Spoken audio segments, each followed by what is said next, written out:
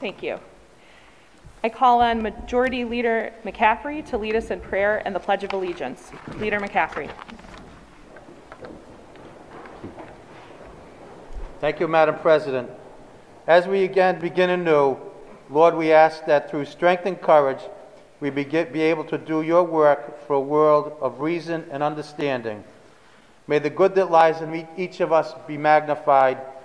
May we see not which divides us, but which unites us. We ask that you bestow a special blessing of good health and happiness on each member and their families.